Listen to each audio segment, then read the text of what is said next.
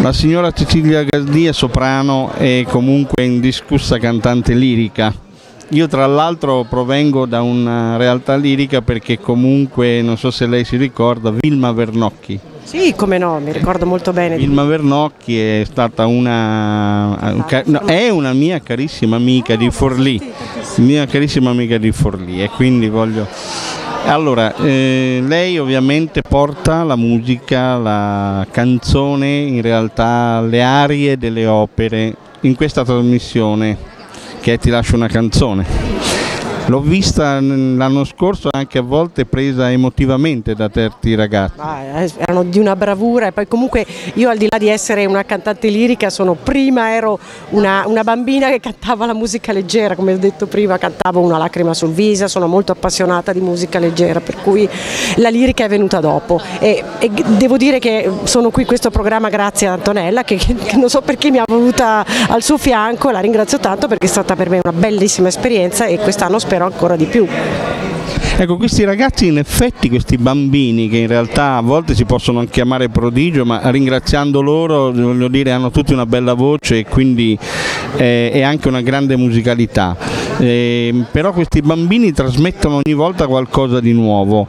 Ma Diciamo che quelli scelti poi per questa trasmissione ovviamente sono, sono una creme della creme, ma i bambini io, sono sempre tutti prodigio, specialmente quelli che cantano evidentemente hanno un talento per cantare, poi ci sono quelli magari fuori classe, ci sono sempre in tutte le cose. Il volo, il volo. Eh beh, il volo, beh, sappiamo che bella carriera stanno facendo, adesso poi man mano diventeranno grandi, quindi poi anche loro si scontreranno con la realtà insomma, di dover studiare, perché per fare i tenori, tenori è una cosa diversa, insomma c'è anche un grosso studio alle spalle, quindi insomma, ma insomma i bambini come si fa a non dire che sono tutti prodigiosi quelli che partecipano a questa trasmissione? Ecco io credo comunque che a molti bambini con qualche voce particolare di qualcuno ovviamente si riesce a trasmettere anche l'opera lirica, cioè un po' di passione in più per l'opera lirica. Io sono abbastanza dentro a questo ambiente quindi le posso dire che il mondo è pieno veramente di ragazzi di 15, 16, 17 anni che si accingono a studiare seriamente l'opera, nei conservatori pullulano di questi ragazzi quindi io sono molto contenta perché